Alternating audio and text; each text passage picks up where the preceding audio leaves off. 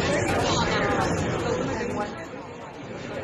Well, here's a look at what GO train commuters have been dealing with all week long at Union Station. Extreme overcrowding, hundreds of people pushing up narrow staircases, only to herd their way onto a dangerously packed platform. Passengers reaching out to City News say safety has been a major concern. The cause of all of this, schedule changes to accommodate expanded service on the Kitchener line. Well, here's a look at Union Station right now. We're in the middle of rush hour. You can see it's pretty much business as usual. I can tell you that Metrolinx brought in some customer uh, safety officers to help with crowd control, and it did make a big difference. Uh, still, one GO train rider who's uh, been on the Kitchener line for more than a decade now, she reached out to City News and described her commute home last night as terrible and scary.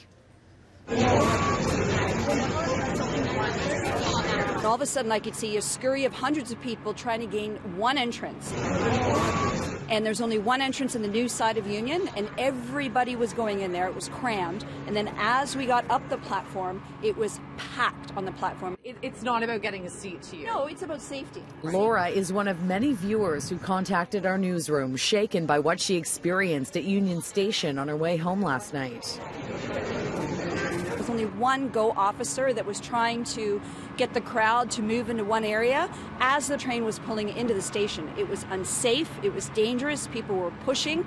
This is not okay. Someone is going to get pushed and someone's going to fall. Overcrowding from these changes is also being reported at the Bramalea GO station in Brampton, and this has prompted that city's mayor, Patrick Brown, to reach out to Ontario's transportation minister about safety issues. In turn, Metrolinx was instructed to take immediate action. We're going to fix that situation. We're not going to let it linger on any further. Platform 13 just announced here is the Kitchener Line crowd. Metrolinx says it started getting reports of overcrowding on Tuesday and has been examining the problem. There's additional access to 13 just through the via concourse. I'll take you that way. It is now using public safety officers for crowd control and has also taken immediate action to crack down on platform crowding. It is a very busy train. We get uh, increase the space there because of the construction going on. They've moved uh, barriers and so forth, so that should help as well. But Laura tells me yesterday the train was only accessible from one side of the platform, and that's the bigger issue. So instead of trying to have a thousand people on average go on both sides in a numerous amount of entrances, you have 2,000 people who are trying to get in through very minimal entrances and all get on the train from one side. Many pictures being posted to Twitter show unbearable conditions on the actual train rides. It looks to be standing room only. In the coming days, though, hopefully by next week, Metrolinx says two more train cars will be added to one of the evening rush hour trips. Is that going to make a, a difference? For me personally, it's not so much just having more trains on the actual train line.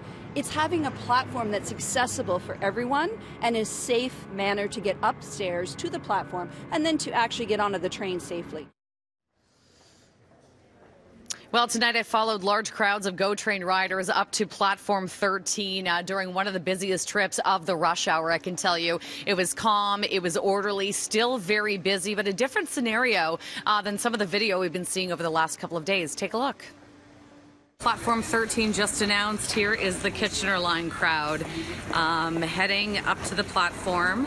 This is the main sort of staircase here at the York Concourse. So this is a bit of the overcrowding that people are talking about.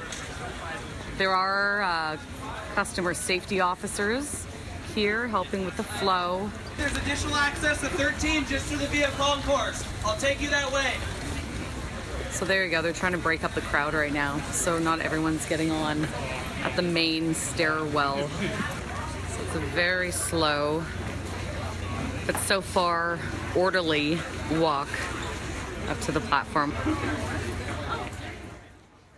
Now, that immediate action we saw tonight is really just a band aid solution. So many commuters believe uh, that some of this overcrowding is related to the elimination of an express train.